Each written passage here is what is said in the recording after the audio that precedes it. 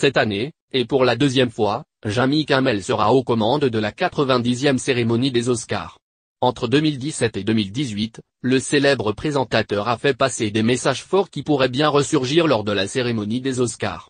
Dans son émission télé, il avait dénoncé le système de santé américain, alors que son fils nouveau-né avait besoin d'une chirurgie à cœur ouvert. Pour Jamy Kimmel, tous les enfants devraient avoir les mêmes chances de guérison. Alors qu'aura lieu la 90e cérémonie des Oscars, ce dimanche 4 mars, les médias américains parient déjà sur un discours engagé façon Kimmel. Mais ce dernier semble déjà préoccupé par une chose.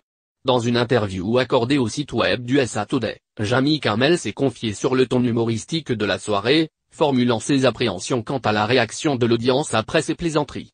Reste à savoir si Jamie Kamel misera sur l'humour pour faire passer des messages forts dans une Amérique de plus en plus divisée.